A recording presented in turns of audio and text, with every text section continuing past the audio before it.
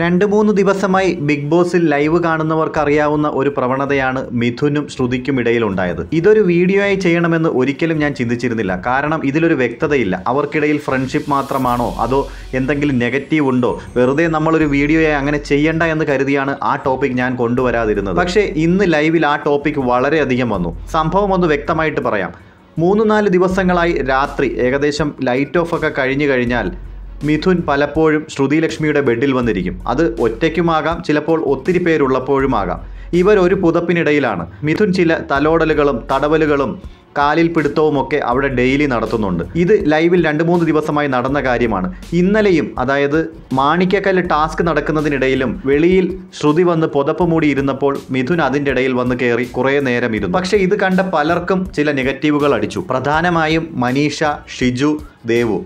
അപ്പോൾ ഇത് കണ്ടവരുടെ മിസ്റ്റേക്ക് അല്ല. ഇന്ന് ഉച്ചയ്ക്ക് മനീഷയും ദേവവും തമ്മിലൊരു കോൺവെർസേഷൻ നടന്നു ഇതേപ്പറ്റി. അവൾക്ക് ചെരിപ്പോൾ പ്രശ്നമില്ലായിരിക്കും. പക്ഷേ മിഥുൻ കാണിക്കുന്ന രീതികൾ എനിക്ക് ഒട്ടും പിടിക്കുന്നില്ല എന്ന് ദേവ് പറഞ്ഞു. റിനോഷും ശ്രുതിയും തമ്മിലുള്ള ബന്ധം എനിക്ക് മനസ്സിലാക്കാം. പക്ഷേ റിനോഷിനെ പോലെ അല്ല മിഥുൻ എന്ന് ദേവ് പറഞ്ഞു. ഇതിന്റെ ഒരു സൂചനയുമായി മനീഷ ഇന്ന് ഉച്ചയ്ക്ക് ശ്രുതിക്ക് ചില ഹിന്റുകൾ കൊടുത്തു. ശ്രുതിക്ക് ഏറെക്കുറെ കാര്യം മനസ്സിലായപ്പോൾ ശ്രുതി പൊട്ടിക്കരഞ്ഞു.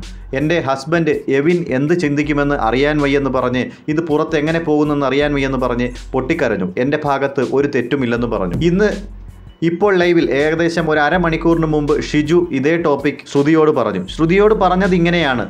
ഇത് കോടിക്കണക്കിന് ജനങ്ങൾ പുറത്ത് കാണുന്ന ഒരു ഷോയാണ്. ഇതിന്റെ കട്ടായിട്ടുള്ള ഭാഗങ്ങൾ മാത്രം പുറത്തു വന്നാൽ എപ്പോൾ നോക്കിയാലും അവൻ മറ്റാരുടെയും പുതപ്പിനിടയിലില്ല.